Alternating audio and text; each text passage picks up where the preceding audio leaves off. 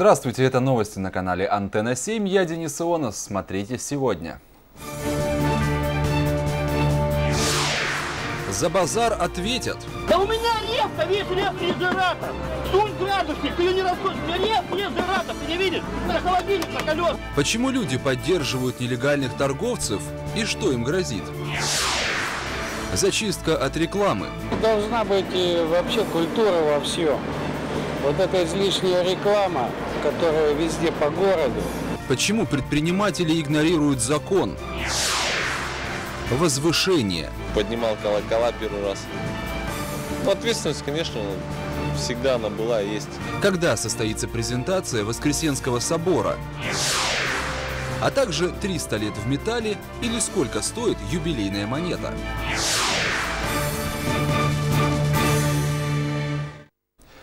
Сегодня на стихийный рынок в Кировском округе нагрянула полиция и представители администрации. Бабушкам объяснили, что их торговля противозаконна. Административный кодекс Омской области запрещает работу продавцов в необорудованных для этого местах. Появление проверяющих вызвало бурю эмоций. Нарушители утверждали, что больше им идти некуда. Покупатели поддерживали нелегалов, ведь у них дешевле. Наш корреспондент Анастасия Лаврова наблюдала. А мне со специализированного места утром выгнали. Мне со специализированного места утром не пустили на специализированное место.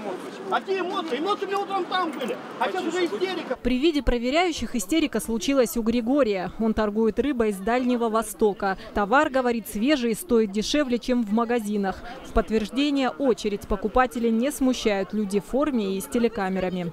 Прошу, молодой человек, уступи, пожалуйста, бабушке, я старенькая. Он, пожалуйста.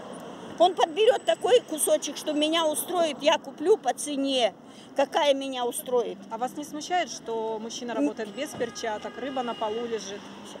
Я не смущает меня. Я раньше работала на мясокомбинатах, бывало везде. Там крысы ползали вот так вот везде. Я видела их сама. И ничего, все нормально. Пока специалисты Россельхознадзора составляют в отношении Григория протокол, он продолжает горячо доказывать, что больше торговать ему негде. На губернской ярмарке предоставить место ему отказались, вот и пришлось встать на обочину. Продукт скоропортящийся, подлежит немедленной реализации. Мы приехали на ярмарку. И нас оттуда выгнали. Почему Я, я это э, директрисе говорю, директор, говорю, дайте мне ну, на бумажке, почему? Или давайте я напишу, вот в вашем присутствии, что вы меня не пустили на рынок. А вы просто решите. Она говорит, нет. И вызвала вас. Причина скандала. Рыба обалденная, цена гуманная, люди довольны. Что надо? Электорат. Выборы на носу. Вы понимаете, что в таких условиях нельзя 20 градусов на улице? Да у меня ревка, весь рефрижератор. Сунь градусник, ты ее не расходишь. У меня рефрижератор, ты не видишь? Это холодильник на колесах. Давайте на вы будем, а? Хорошо? Да ну ты уже бредничаешь, если погода ночь, ты куда уже разбирайся. Рефрижератор, ты ее не расколешь. Она... Вы не понимаете, что Я понимаю. нельзя вообще? Так а я здесь и не собирался торговать. Я приехал на ярмарку, я тебе объясняю, Так ты, что ты, ты глухой, ты. Приехал на ярмарку. Он на ярмарку не заявлялся, есть определенная процедура а, для участников ярмарки, то есть они должны обратиться в Министерство сельского хозяйства, оформить, ну, представить соответствующие заявки, а, документы, после чего Министерство сельского хозяйства направляет их на рынок, эти заявки, список участников ярмарки, и он встает на торговое место. Данный человек нигде не заявлялся, документы нигде не предоставлял, и, соответственно, естественно, э, зная, что здесь идет еженедельная э, торговля, он, соответственно, захотел встать. Без документов и заявки хотят продать свой товар и эти женщины. Увидев людей в форме, они спешат покинуть стихийные ряды. Буквально через 100 метров работает легальный рынок. Цена вопроса от 15 до 20 рублей за место в день. Однако эта женщина уверена, зачем платить, если можно торговать бесплатно. Все у них куплено на этом рынке то же самое. Там без денег делать нечего. 15 рублей. 15 рублей, а для деревни 15 рублей тоже деньги. Зарплата 2000 в деревне, понимаете? А детей одевать надо скоро в школе. Но вы понимаете, что вы нарушаете закон? Нет, мы ничего не нарушаем. Вот пусть они разбирают тех, кто миллионами, миллиардами грабит, вот те вот нарушают закон, а мы не нарушаем закон. Мы, мы зарабатываем себе на жизнь, чтобы прокормить своих детей и свою семью. То есть завтра вы придете торговать сюда? Придем снова. Тем, кто нарушил закон, а именно торгует стихийно, придется заплатить. Новички отделаются предупреждением. Повторно попавшиеся выложат тысячу рублей. Максимальная сумма штрафа составит 5 тысяч рублей. Сегодня чиновники предлагают продавцам два вида торговли. Губернская ярмарка, которая требует согласования с Минсельхозом, и места на муниципальных рынках. Таких в Омске 4. Их заполняемость 85%, а значит места есть. Здесь очень удобно. 20 рублей вы платите за место. Крыша над головой, и от солнца, и от дождей. А там же дорога проходит, пыль, грязь. Для борьбы со стихийной торговлей администрация торгового центра установила вот такие ограждения. Однако и это не мешает продавцам-нелегалам продолжать работу. В отношении всех, кто не успел убежать, составили протоколы. С начала этого года административному наказанию подверглись более 300 человек. Чистка рынков от нелегалов – мероприятие регулярное, проходит каждую неделю. Однако торговцы, не стесняясь полицейских, приглашают своих постоянных клиентов на завтра. Спрос рождает предложение, а выручка покрывает штрафы. Девочки, жду вас всех завтра. Сегодня я разберусь с ними. Завтра всех возьму на этом месте в 7 утра. Анастасия Лаврова, Артем Колесников, Антенна 7. Сегодня в городе прошел еще один рейд. Небольшие рекламные штендеры у магазинов на тротуарах установлены буквально на каждом шагу. Вообще-то запрет на них наложили депутаты Омского городского совета еще два года назад. Однако меньше на улицах их не стало. Почему предприниматели игнорируют закон, узнала Ксения Тоечкина. Вы мне сказали, дядя, кто вам сказал? Вот офицер полиции стоит. Я понимаю, но вот другой же принесли. Не, подождите. Тогда мы вам за неповиновение сотрудника полиции я, я обязан составить административный протокол. Вот я его сразу. Мы его изымаем. На защиту своей собственности предприниматели встают горой. Кому помешали их рекламные конструкции, не понимают. Уверяют о том, что их установка вообще вне закона, слышат впервые. Штендер, наверное, месяц, полтора, два. Вам приходили уже, говорили, что это противозаконно? Нет, говорили, что приходили, я слышал до этого, что вроде как будут жаловаться куда А чтобы его убирать, нет, они как стояли, так и стоят. То есть вам не говорили, что его нужно убрать? Вы не знаете ничего, никакой информации о штендере? Но вы знаете, что он установлен незаконно? Незнание закона не освобождает от ответственности, заявляют инспекторы. Демонтировать штендер все-таки придется. И не самому предпринимателю, а представителям администрации. Двухлетний опыт, а именно столько времени прошло со дня принятия запрещающего закона, показал, доверять это бизнесменам бесполезно. До этого мы неоднократно предупреждали предпринимателей о том, что размещение данных штендеров является незаконным. Но, как показывает практика, это их не останавливает. И через день, через два люди вновь выносят эти штендеры на прежние места. Пока инспекторы активно демонтируют рекламные конструкции, одну за другой складируют в припаркованный грузовой фургон, предприниматели с другой стороны улицы поспешили спрятать свои. Так, к примеру, поступили сотрудники этого салона оптики. Почему убрали штендер? Видели, что штендера забирают? Да? Решили спасти имущество, да? Ответственную работу. Однако, как выяснилось, мера это бесполезно. Спрятанный в подсобку штендер пришлось отдать. Результат сегодняшнего рейда – 32 демонтированных конструкции отправят на штрафстоянку в Управление дорожного хозяйства и благоустройства. Вернуть свое имущество предприниматель, конечно, может. Достаточно обратиться в администрацию по месту регистрации торговой точки, предоставить документы на конструкцию. Сотрудники составят протокол об административном правонарушении, по которому придется выплатить штраф. Самый маленький для физических лиц – от 1 до 5 тысяч рублей. Для частных предпринимателей сумма посерьезнее – от 5 до 20 тысяч рублей. Максимальная санкция для юрлиц – от 25 до 100 тысяч рублей. Возможно, именно поэтому возвращают свое имущество единицы. Таких случаев очень мало. Очень мало. Потому что штрафные санкции все-таки весомые, поэтому они, э, им легче расстаться. По мнению депутатов, рекламные конструкции на тротуарах мешают прохожим, особенно людям с ограниченными возможностями. Инспектор Денис Иванов подтверждает, именно эта категория населения чаще всего обращается с жалобами в администрацию. Потому что, проходя вот такой лабиринт, проходить такие лабиринты, скажем так, зачастую предприниматели выставляют их и посередине, и, скажем так, перекрывая весь тротуар, зачастую бывают случаи. Им очень сложно перемещаться, им приходится подвергать свою жизнь, объезд, объезжая эти штендера даже по проезжей части. Справедливости ради стоит отметить, что за все время рейда на тротуарах мы не встретили ни одного инвалида-колясочника. А вот прохожих предостаточно. Интересуемся их мнением. Мне вообще ничего не мешает. Лично мне вообще ничего не мешает. А уж, может, кому-то и мешает. Ну нет, не мешает. А чем они мешают? Город обновится, все станет по-новому. Должна быть вообще культура во всем. Вот эта излишняя реклама, которая везде по городу, особенно какая она была на улице Ленина, мы все это знаем. Все должно быть, как говорится, вот, согласовано с дизайнерами города.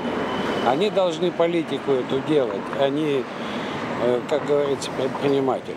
Стационарным рекламным конструкциям не место на городских улицах. Это закреплено законом. Однако некоторые предприниматели уже нашли пути его обхода. Превратили их в мобильные. К ним пока вопросов у представителей власти нет. Хотя, возможно, они вскоре появятся. Из-за активного демонтажа таких промоутеров вполне может стать больше.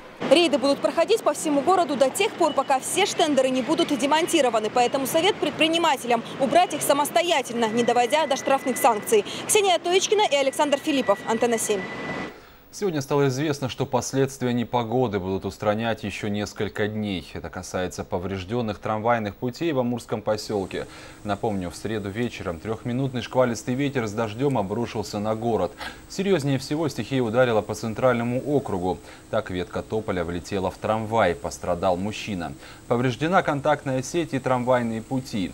Работы по капитальному ремонту хотели начать сегодня и закончить только к вечеру понедельника, но из-за непогоды ремонт пока отменили.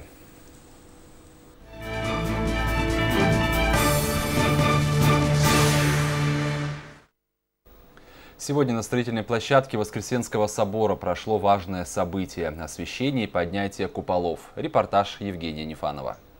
Слава Отцу и Сыну и Святому Духу, и ныне, и присно, и во веки веков. Аминь.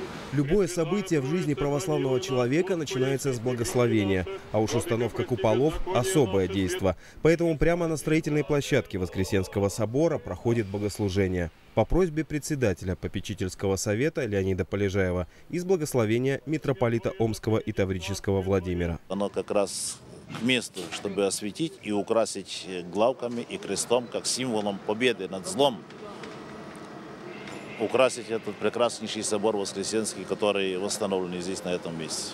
Ольга Панина прилетела из Москвы в Омск по делам и специально приехала на освещение куполов. Она знает, что в прошлом здесь крестили художника Михаила Врубеля. Здесь молился будущий всероссийский император Николай II. Сюда приходил писатель Федор Достоевский. Лидер Союза матерей России с искренней радостью встретила новость о восстановлении Воскресенского собора. Наш долг и наша обязанность святая хранить то, что было создано нашими предками, нашими отцами, праотцами. Поэтому я считаю, что это ну, такое светлое э, событие. Это важно для нас, для наших детей, для наших внуков, для вообще нашей земли.